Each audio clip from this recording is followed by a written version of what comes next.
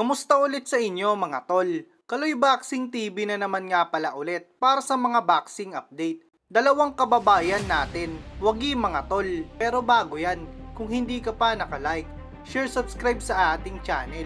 Pindutin mo na yan at ang notification bell para palaging updated sa ating mga bagong lalabas na video. Ang dalawang kababayan natin na si Virgil Bellante at Reggie Sugadov mga tol. Wagi lang naman sa bawat laban nila. Si Virgil Bellante Vitor mga tol ay nag-uwi ng WBO Oriental Super Featherweight title nang wasakin nito ang Thailander na kalaban sa loob lamang ng round 3 nang saluhin nito ang solidong kaliwa ni Vitor upang hihinto ng referee ang laban. Dahil nga dito mga tol, nakamit ni Vitor ang kanyang kauna-unahang pagiging champion at sabi nga nito, ang next target niya ay lumaban na sa isang world title fight. At magandang performance nga ang pinakita ni Vitor sa laban mga tol.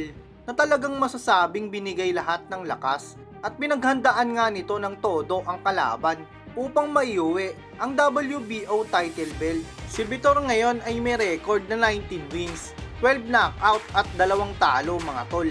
Habang ang kalaban nito na Thailander ay may record lang ng 9 wins, 3 knockout na talaga namang nakuha lahat ni Vitor ang kalamangan sa laban simula round 1 pa lamang. At pagdating nga ng round 3 dito na nga sinalo ng Thailander ang kaliwa ni Vitor mga tol. Habang si Reggie Sagadov naman mga tol ay nananatiling undefeated pa din. Nang matalo din nito ang undefeated na Indonesian fighter na si Andika the Golden Boy sa unanimous decision. Ang kalaban ni Sugadov mga tol ay maganda ang record at masasabing veterano na sa larangan ng boxing may record lang naman ito ng 19 wins at 10 knockout at isang talo.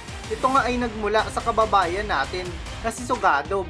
Habang ang ating kababayan mga tol ay may record lamang na 12 wins at apat na knockout na talaga namang pinahirapan nito ang Indonesian sa laban na nakuha nga lahat ni Sugadov ang bawat score ng bawat laban na makikita nga natin mga tol kung gaano kapursigido at kalakas ang dalawang kababayan natin sa bawat laban na pinakita nila at mag-uwi na naman ng isang karangalan sa ating bansa.